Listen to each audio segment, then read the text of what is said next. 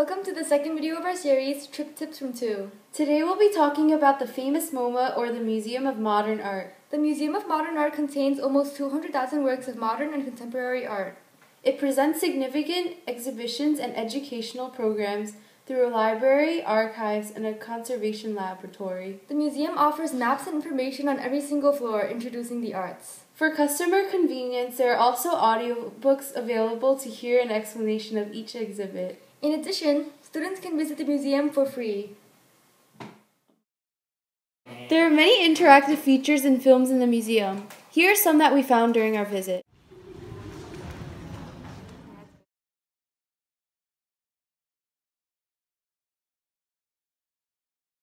These six floors of MoMA showcase different artworks carrying deep meaning. At first glance, this painting appears to be a large black X made of four triangles about the same size. However, this pattern can be better identified. You can see the legs of a passerby, the surface of a sidewalk, a building, some sky, and the leaves of a tree. From there, a mental image of a simple street view can be constructed. This shot has a unique focus. Most people would focus on the parade or the crowd, but this artist blurs out the crowd. The clear outline of the child is quite intriguing. This painting, Blue Green Forest, was meant to capture what lay beyond the limits of human perception. This style of canvas was developed by the artists themselves, known as Rayonism. This work was different from traditional sculptures at the time due to the fact that it was composed of everyday materials. It did not have elaborate decoration and a pedestal, completely disregarding conventions. The early 1900s represented a unique moment for children's books. Experts in art and literature came together.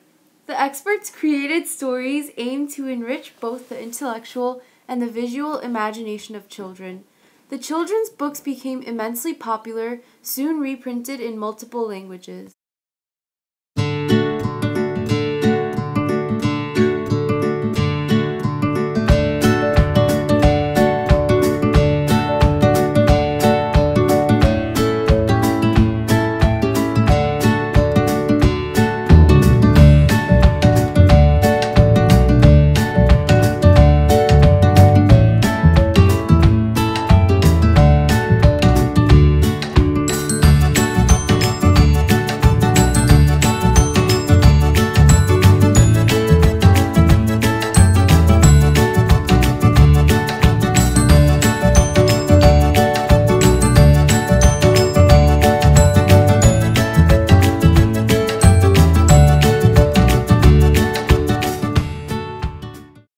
This painting, called Persistence of Memory, depicts melting and distorted clocks.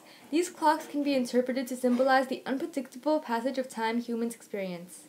Ants can also be seen eating away at the clocks, symbolizing that our time will eventually decay and pass. The name of this painting, The False Mirror, is symbolic. It is an invitation to look at the world differently. It poses the question of whether or not what we are seeing is truly what we are seeing. This long painting was constructed by Claude Monet. It depicts of large water lilies in the sky above. This painting provides an illusion of an endless whole and infinitive body of water. It also seeks to create a feeling of peace through meditation in the center of a flowering aquarium. As artist Francis Picabia says, our heads are round so our thoughts can change direction. As artist Francis Picabia says, our heads are round so our thoughts can change direction. Don't forget to tune into our next video.